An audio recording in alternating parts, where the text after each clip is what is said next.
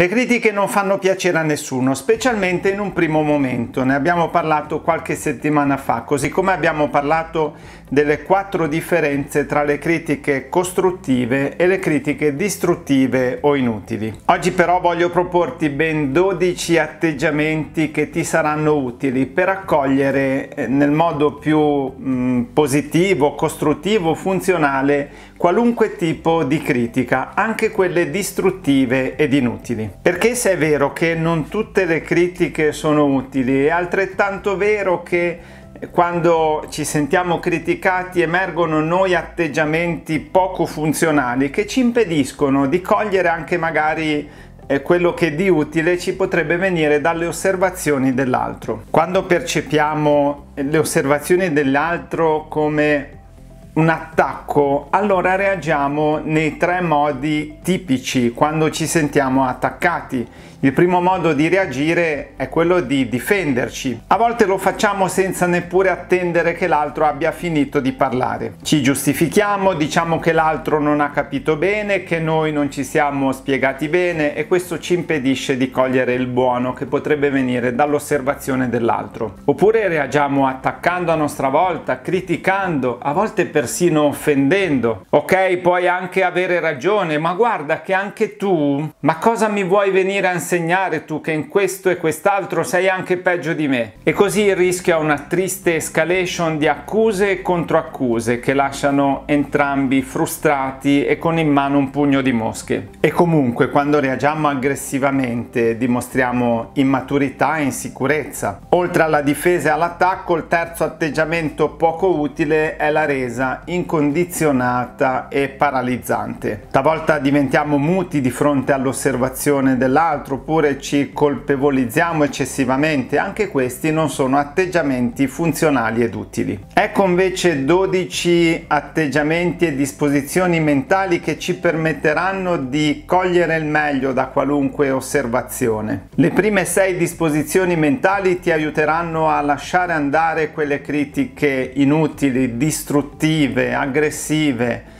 le altre invece ti permetteranno di cogliere il meglio da quelle critiche che effettivamente potrebbero aiutarti. Primo, non possiamo piacere a tutti. Eh, nel mondo ci sono quasi 8 miliardi di persone, possiamo illuderci di piacere a tutti o che quello che facciamo possa andare bene a tutti. Del resto anche noi abbiamo le nostre preferenze, potremmo pensare che gli altri non debbano averle. Persino chi ha miliardi di fans ha milioni di persone a cui non non piace quello che fa, potrebbe essere diverso per ognuno di noi. Secondo, ricorda che quando qualcuno critica spesso parla di lui, non parla di noi. E sì, pensaci, se un film ad esempio ti piace è perché tocca qualche corda che riguarda te. Idem se non ti piace. Certo ci sono film e film, ma resta il fatto che spesso noi non giudichiamo le cose in sé, ma riguardo al valore o al disvalore che hanno per noi. Quindi non prenderla sul personale, ci sono moltissimi motivi per cui le persone pensano ciò che pensano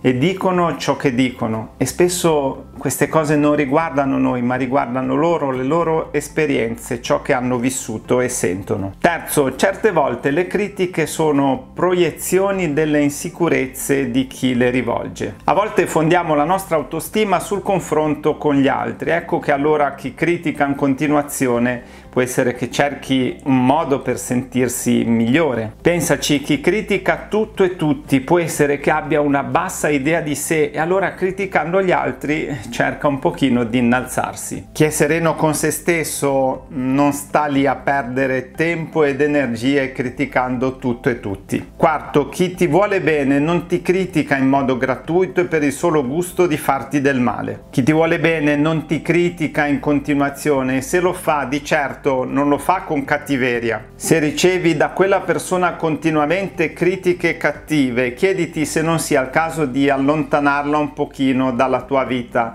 o perlomeno di dare meno peso a ciò che dice, a ciò che pensa, perché probabilmente lei non ti vuole così bene. Quinto, se la critica è falsa, perché te la prendi? Se uno mi dicesse ieri ti ho visto rubare in banca, ma io non vado in banca da una settimana e di certo non ci vado per rubare disturbare eh, di certo non mi offenderei, mi farei una risata. Eppure a volte ce la prendiamo anche quando ci vengono fatte osservazioni completamente fasulle. Ma se ritengo che quell'osservazione non abbia alcun senso, perché me la prendo tanto? O magari potrebbe essere che ci arrabbiamo perché in fondo un fondo di verità c'è in quello che l'altro dice che mi disturba? Beh, in quel caso sarebbe bene ammetterlo con intelligenza e farci un bel esame di coscienza per capire se eh, quell'osservazione, anche se ci sembra completamente infondata, non ha però un fondo di verità in ciò che pensiamo di noi stessi. Se invece davvero quell'osservazione è completamente campata in aria, beh allora lascia andare, prosegui oltre, non ci pensare. Sesto, questa è la mia preferita la trovo fantastica e molto liberatoria. Tieni conto che le critiche degli altri spesso sono semplicemente opinioni e quando le osservazioni sono semplicemente opinioni, opinioni? Beh, vanno prese come tali, senza darci tanto peso. Basta aprire qualunque social network e vedere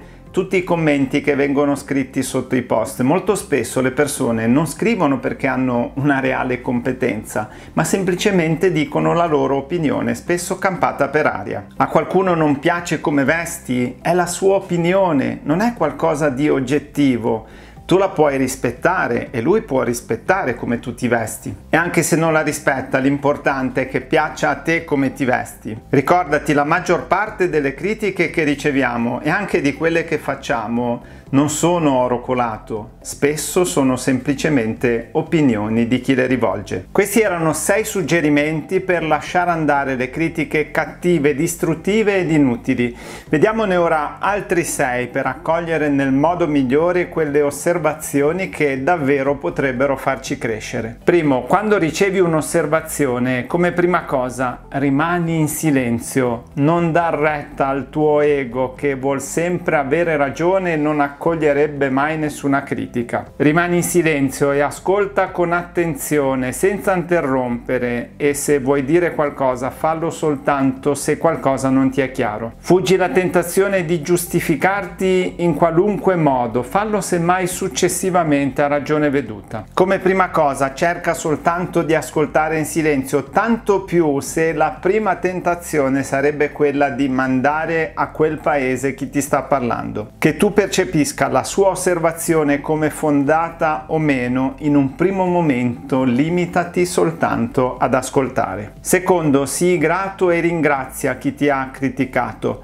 Pitagora diceva, se non hai un amico che ti corregga, paga un nemico che ti renda questo servizio. Chiunque ti sta facendo un'osservazione ti sta facendo un grandissimo favore perché attraverso di essa tu potrai crescere e progredire. Tieni anche presente che probabilmente per lui non è stato facile dirti queste cose, magari come può essere successo a te, lo voleva fare da tempo e chissà per quante volte ha rimandato questo momento, un po' perché gli spiaceva, un po' perché gli pesava, un po' perché non gli sembrava mai il momento opportuno. Finalmente l'ha fatto, sii negrato. Forse ha avuto paura di ferirti e di offenderti e per questo ha rimandato, ma alla fine Facendo un grande sacrificio si è finalmente deciso a dirti queste cose, anche soltanto per questo dovresti ringraziarlo, perché ti sta dimostrando che ti vuole bene, che tiene a te e alla tua crescita. Per questo, come prima cosa, ogni volta che qualcuno ti fa un'osservazione, ringrazialo sempre. Terzo, accetta di non essere perfetto. Anche questo è molto liberatorio. Nessuno di noi è perfetto. Facciamo 100 errori al giorno e non dobbiamo identificarci con quegli errori, noi siamo molto di più dei nostri errori. Facciamo tanti errori chiunque ed è giusto riconoscerlo, è giusto ammetterli ed è giusto migliorare per diventare sempre versioni migliori di noi stessi. Sullo specchio dovremmo mettere un bel post-it con scritto work in progress, lavori in corso e visto che non siamo perfetti, visto che siamo lavori in corso, ben venga se qualcuno ci dice come migliorare.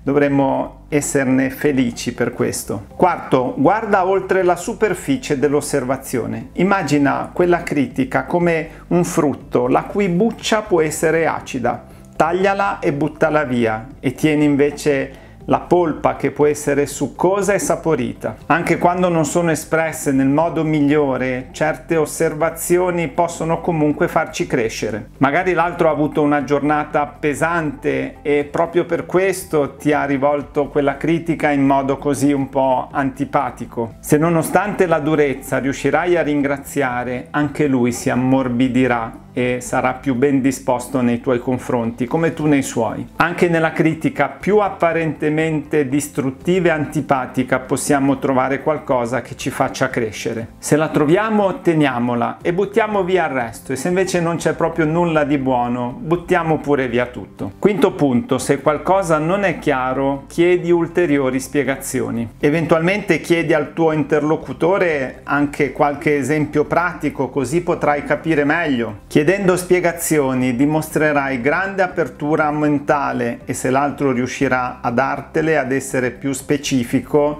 la sua osservazione diventerà più concreta e quindi più utile e funzionale. Sesto punto, analizza e valuta con calma ogni osservazione che ricevi. Hai buttato via la buccia se per caso era un po' acida e dura, adesso è il momento di servirti della polpa e di valutare per bene il feedback che hai ricevuto. Analizza al comportamento che ti viene chiesto di mettere in discussione. Pensa con calma e con grande umiltà agli errori che ti vengono imputati. Chiediti cosa puoi imparare da ciò che ti è stato detto. Insomma, fai un bel esame di coscienza, una bella verifica dell'operato che ti viene chiesto di mettere in discussione e se capisci che davvero puoi migliorare, prendi tu in prima persona la decisione di cambiare, non perché qualcun altro te l'ha chiesto, ma perché tu hai capito che è giusto farlo e quindi vuoi incamminarti in quella direzione. Spero di averti dato qualche elemento in più per accogliere con serenità le critiche, le osservazioni, i feedback che riceverai, anche quelli apparentemente più distruttivi e inutili. Nel prossimo video ci metteremo invece dall'altra parte della barricata, chiedendoci in quale modo noi possiamo riuscire a dare feedback utili, funzionali e costruttivi agli altri. Se non l'hai ancora fatto, scarica subito il PDF L'arte del perdono che rinnova la tua vita. È un PDF di più di 50 pagine che ti aiuterà a capire come